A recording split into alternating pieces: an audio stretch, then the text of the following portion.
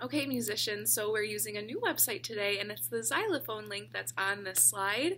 And when we get to that link, I want you to play this video and then go to that tab with the xylophone once you know what we're doing. So we are going to be singing Twinkle, twinkle,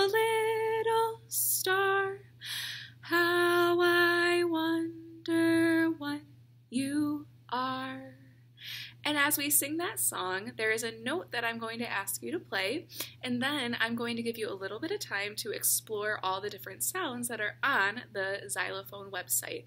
So, I'm going to show you, I have a glockenspiel here, which is just a very small xylophone, and it's also made of metal. So I'm going to tilt this down. And the letter that we are playing is the letter, oops, this way, C. So the C is going to look like this on the xylophone. And we're just going to keep a steady beat with that. If you want to pat the beat right now, or if you already have the xylophone website up, you can play C with me. C, C, C, C. Twinkle, twinkle, little star.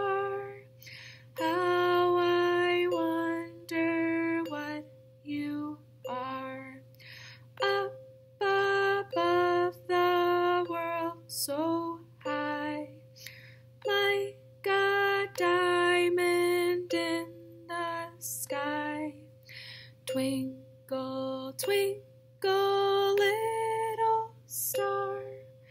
How I wonder what you are. I'm going to give us a little bit of time to explore. So on your iPad, what you would be doing is touching the buttons, and I'm going to be playing this. So how about I give us like 10 seconds to explore the xylophone. Here we go.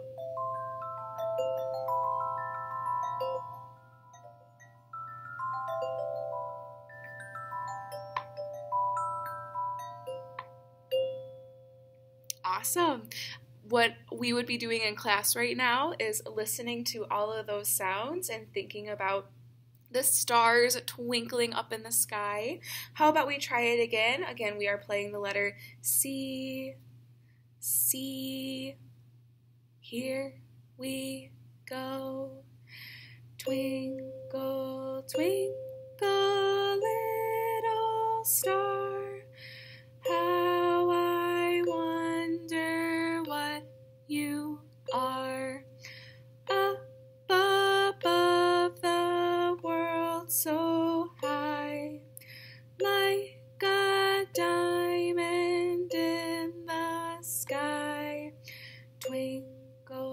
Twinkle, little star.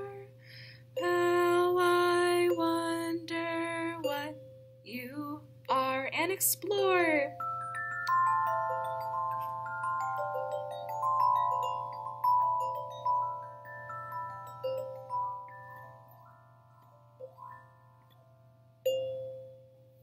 Awesome job.